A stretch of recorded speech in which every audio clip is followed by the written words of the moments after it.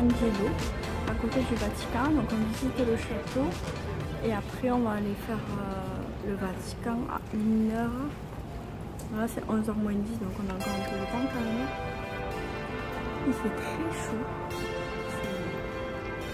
Dans le château il y a des gros salons, des couverts, des salons. Ouais il fait bon.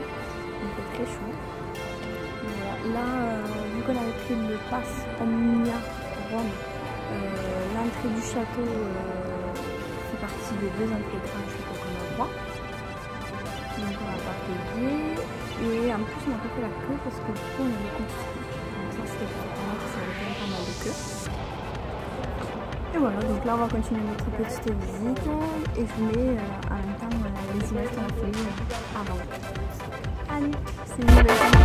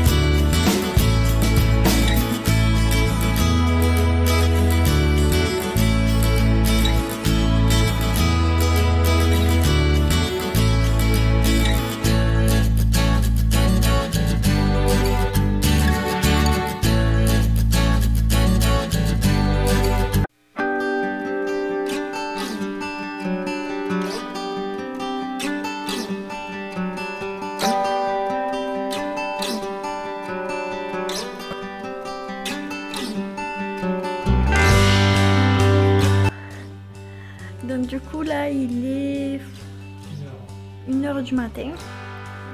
On va au dodo là, on vient de se doucher tout ça. Donc du coup j'ai pas beaucoup vlog aujourd'hui mais vous aurez vu des images.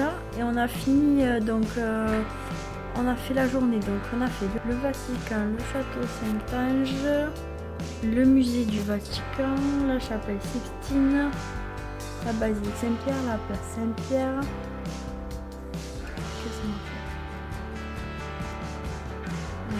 Après on a baladé dans les rues tout ça, puis après on a rejoint des collègues et qui étaient à Rome en même temps que nous.